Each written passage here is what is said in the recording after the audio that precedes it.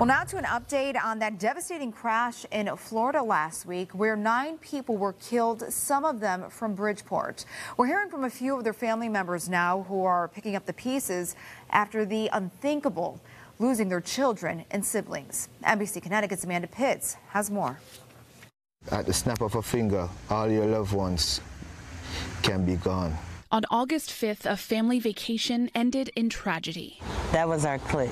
We did mostly everything together. When a horrific crash in Florida took the lives of nine people, six of them children from 23 months to 14 years old.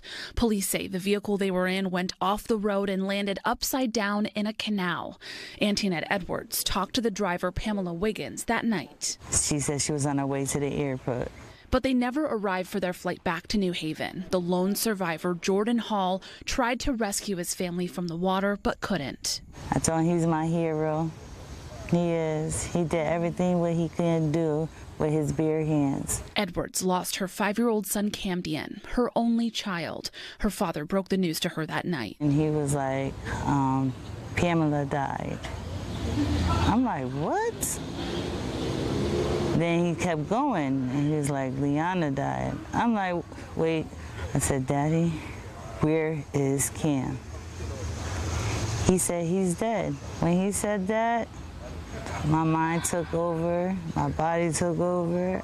I couldn't focus. Brothers Ian and Michael Hall lost their sister and both of their sons. And when I get the news, when I asked where's my son, and I heard that um, he's also dead, you know, I was so, so, so upset. The boys, 14 year old MJ and 8 year old Amani, were close, growing up together in Jamaica. You were so excited when MJ was coming, you know, and you wanted to do everything with MJ.